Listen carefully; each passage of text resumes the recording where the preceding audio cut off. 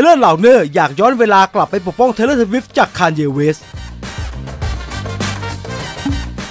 Taylor Lautner นะครับออกมาย้อนระลึกถึงเหตุการณ์สุดอื้อฉาวในงาน MTV Video Music Award ปี 2009 ครับ ที่ Taylor Swift คว้ารางวัลใหญ่จากงานแต่กลับโดน Kanye West ขึ้นไปป่วนครับ บอกว่าเธอไม่คู่ควรกับรางวัลเท่ากับบิยองเซ่โดย Taylor Lautner ที่ปัจจุบันอายุ 30 ปีนะครับ มีโอกาสทบทวนถึงเรื่องนี้อีกครั้งหนึ่งระหว่างการพูดคุยในพอดแคสต์ The Squeeze ของ Taylor Dome ภรรยาคนปัจจุบันของเขานั่นเองครับโดย Taylor Dome ภรรยาของ Taylor Lautnerถามว่าถ้าเขาย้อนเวลาได้อยากจะกลับไปแก้ไขอะไรที่สุด ซึ่งตัว Taylor Lautner ตอบทันทีครับว่าคงเป็นงาน MTV Video Music Awards ปี 2009 ครับ ตอนนั้น Taylor Lautner ไปร่วมงานเพื่อประกาศรางวัลมิวสิกวิดีโอสำหรับศิลปินหญิงยอดเยี่ยมครับ และเป็นคนประกาศว่า Taylor Swift คือคนที่ได้รับรางวัลในค่ำคืนนั้นครับ